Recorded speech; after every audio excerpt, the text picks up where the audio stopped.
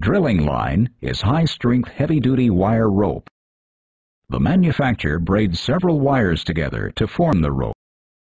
Drilling line comes in diameters ranging from 7 eighths of an inch to 2 inches, about 22 to 51 millimeters. Crew members string or reeve drilling line between the crown block and the traveling block. The more lines they reeve, the more weight the system can support.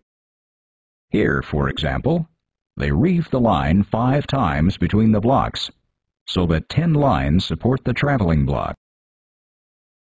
Here's the crown block and traveling block strung together by drilling line. Note how the traveling block goes up and down as the driller takes in or lets out drilling line. The deadline is drilling line that runs to the deadline anchor. The fast line is drilling line that runs to the drawwork. Notice the five wraps of drilling line between the crown and the traveling block. Five wraps makes for ten lines. Ten lines can lift ten times the weight of a single line. Also notice that the crown block has one more sheave than the traveling block. This extra sheave is for the fast line. Drilling line comes to the rig on a large supply reel. Normally, crew members string the needed amount of line through the traveling and crown blocks and onto the drawworks. Then, they keep the extra line on this supply reel. The reason they keep the extra line is for a slip and cut program. As the driller raises and lowers the traveling block and its associated loads, the drilling line wears. It tends to wear more where it passes over the traveling block sheaves and the crown block sheaves. The line has to bend around the sheaves, and this puts extra stress on it. The line also wears more where it reaches the end of the drawworks drum. It has to reverse direction here and start back the other way on the drum. This direction change puts extra stress on the line. To distribute the wear on the drilling line, the crew slips the line a predetermined amount. Slipping the line moves the wear points on the line. To slip the line, crew members lower the traveling block to the rig floor. They then rig up a special hang line from the crown beam to the top of the traveling block. The hang line keeps the block from moving. With the block unable to move, they unclamp the drilling line at the deadline anchor. The driller then uses the drawworks to pull new line off the supply reel. The line slips through the deadline anchor and stationary traveling block. The worn line reels onto the drawworks drum. To keep too much line from accumulating on the drum, crew members cut off the end of the worn fast line and discard it. This is the deadline anchor.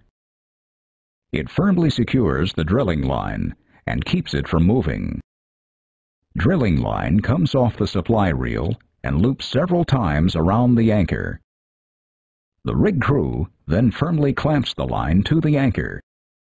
The line leaves the anchor, goes through the crown and traveling blocks, and then to the drawworks. Clamping the deadline to the deadline anchor mechanically isolates the drilling line from the supply reel. Because the line is stationary, it is called the deadline. The drawworks has a large spool or drum around which the crew members wrap the drilling line. Power from the engines or electric motors drive the drawworks drum. When the driller activates a control and releases the brake, the drum reels in drilling line. Reeling in drilling line raises the traveling block and whatever is attached to it. To lower the traveling block, the driller releases the drawworks brake. The force of gravity pulls the block down. The driller controls the descent by applying the brake to slow or stop the downward travel. The smallest drawworks are around 550 horsepower, while the largest have 4,000 horsepower, about 400 to 3,000 kilowatts. Small drawworks can handle wells drilled to around 3,000 feet 1,000 meters deep. The largest can handle 40,000 foot or 12,000 meter depths. When the driller moves the brake handle down, the Drawworks brake bands exert friction on both rims of the drum. We're only showing one rim to keep it simple. This friction slows or stops the drum. When the driller lifts the brake handle a small amount, tension on the bands eases. With tension eased, the Drawworks drum rotates a small amount to gradually lower the load. When the driller lifts the handle up fully, the bands do not touch the drum rims at all. The drum rotates freely, and the load drops in free fall. Many new Drawworks use a disc brake system.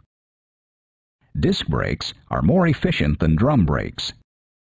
A typical disc brake system consists of three major components. Two discs, one on each end of the drum. A hydraulic operating system, which you can't see here. And caliper and pad assemblies. The system has six service calipers, three on each disc, and two emergency calipers, one on each disc. When the driller engages the brake, hydraulic pressure pushes in the pads inside each service caliper. The pads contact the disc and slow or stop the drum. If hydraulic pressure fails, the emergency calipers set automatically. Mounted on the end of the Drawworks drum shaft is an electrodynamic brake. It is an auxiliary brake that uses powerful electromagnets the electromagnetic force works against the turning force of the Drawworks drum shaft. It assists the mechanical drum or disc brake you just saw. It controls the speed of the load as it goes down. The driller cannot control the load speed with the drum or disc brake alone. The weight of the load, plus the tremendous inertia it creates when moving, is just too great. So, the driller activates the electrodynamic brake. The electrodynamic brake provides most of the braking force when the Drawworks drum is turning. The most modern Drawworks braking system does not use an electrodynamic brake.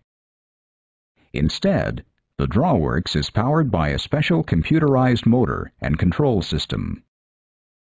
The computer control system allows the drive motor to power the Drawworks and provide the auxiliary braking force. Mounted on the drawworks, near the drawworks drum, is a crown saver, or a crownomatic, a brand name. A crown saver keeps the driller from accidentally raising the traveling block into the crown block. It has a probe that activates an air-actuated toggle switch if the driller takes in too much drilling line onto the drawworks drum.